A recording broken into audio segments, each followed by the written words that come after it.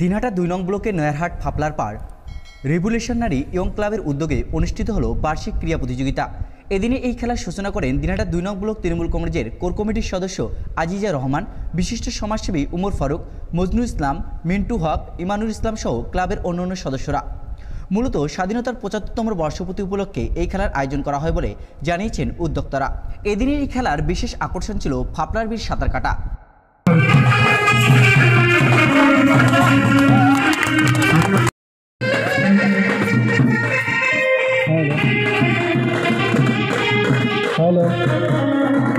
আমরা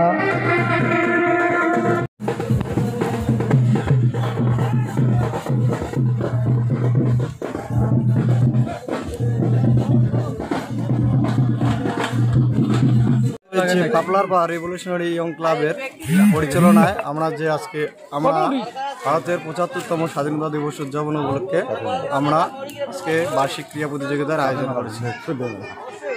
এই বার্ষিক ক্রীড়া প্রতিযোগিতায় সবার সহযোগিতা এবং আমাদের বিশিষ্ট অতিথি আজিজা রহমান মহাশয় ও বিশিষ্ট সমাজসেবী উমর ফারুক মহাশয় আমাদের অনুষ্ঠানের শুভ সূচনা করলেন।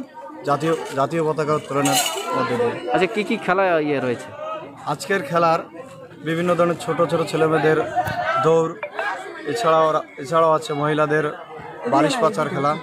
এছাড়া আছে হাঁস হাঁস দড়া হাঁস দড়া খেলা।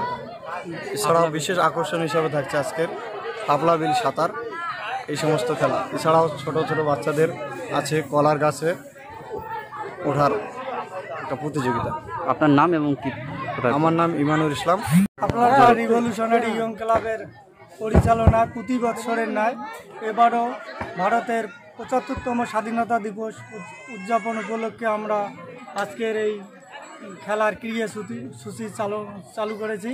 আমাদের খেলার উদ্বোধন করলেন আমাদের দিনাটা দুই নং ব্লক সদস্য মাননীয় আজিজা রহমান ও বিশিষ্ট সমাজসেবী উমর ফারুক মিয়া।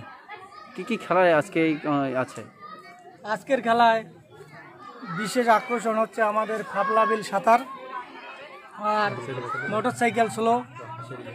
এই বিবাহিত মহিলাদের জন্য হাঁস ধরা হাঁস ধরা প্রতিযোগিতা ইত্যাদি। এছাড়া অন্যান্য আপনার নাম? আমার নাম মজনু ইসলাম। এদিকে এদিকে। সবাইকে অনুরোধ করছি মহাশয়কে।